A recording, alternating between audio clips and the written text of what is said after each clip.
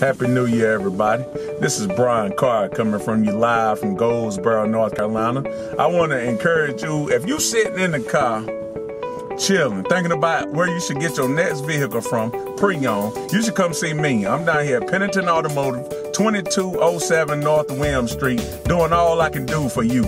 You know, just come down here. If you're sitting in the car thinking about it, just come down here and see me. Look, we welcome you with a welcome arms, just like the church. The doors is always open. So come see me. This gonna be your year. This gonna be my year. Look, I need to do more than I did last year for you.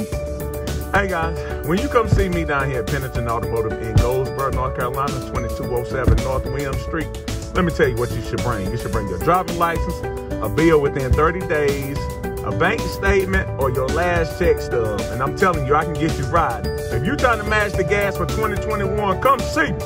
I'm out here.